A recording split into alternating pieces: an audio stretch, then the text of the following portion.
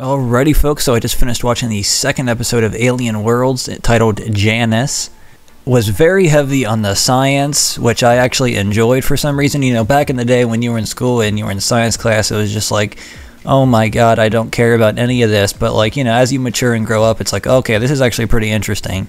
You know, there were all kinds of scientists with all their specialties, and there was a whole section with like ants, and it was showing all of them the worker ones, the soldiers, and the other ones I forget what their name is they transport stuff but and these ants the soldier ants were not playing. A spider had ventured into their area and they jacked them up. It was pretty interesting that you know a spider you know it looked pretty big. It was a decently sized spider and the, the ants just their little colony they, it was their turf and they just destroyed it and just started ripping it to shreds. You know those those ants don't play when you come in their territory and there was a whole section on these fireflies and you know this lady was talking about how the males and females use their lights to like mate and try to find a mate to reproduce and then sometimes they use it to warn off predators like get the hell away from us. Firefly like creature that also had a, emits a light and they basically lure the male fireflies in to mate with them and then you know the male gets there and he's like okay let's do this and then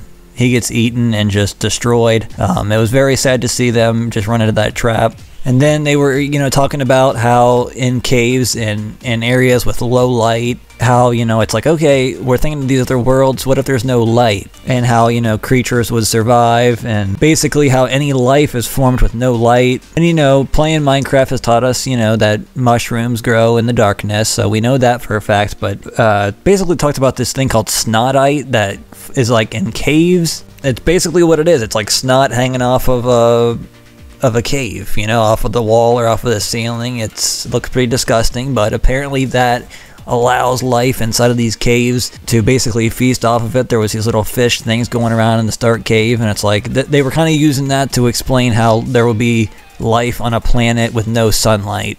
And then this alien planet Janus, it's got a divide. There is a side with sunlight, and it's kind of a desert, so it's very dry. And then there's another side that's like complete darkness and cold and just depressing. And, and they show these creatures called pentapods that live on both sides. And a quick mention the people who are doing the animation for this Netflix series, I got to give a major shout out to them because it looks incredible.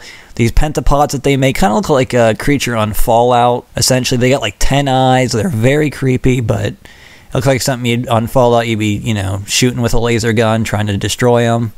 You know, and these pentapods that showed with the fireflies where they they mimic their prey to get them to, you know, fall into their trap and get eaten and all that. The pentapods, these made up creatures, essentially, they were showing them mating and they were like hermaphrodites, so they were male and female, so they kind of reproduced with each other and both were laying eggs and all that. So they climb up to the top of this mountain and let all their eggs go and they're like in the sky and spreading all over. It's so many eggs so many so many potential future pentapods they, like i said they were interesting little creatures but like i said this episode was very heavy on the science and you know i actually enjoyed it even though some people might be like okay where's the alien stuff? Where's all the creatures and you know it wasn't as heavily featured. I still enjoy the science of it. And like i said the animators of this do a really good job of making these creatures and these worlds so major shout out to them. But yeah let me know your thoughts on this episode in the comments and i'm definitely intrigued to watch the third episode but that will do it for this video.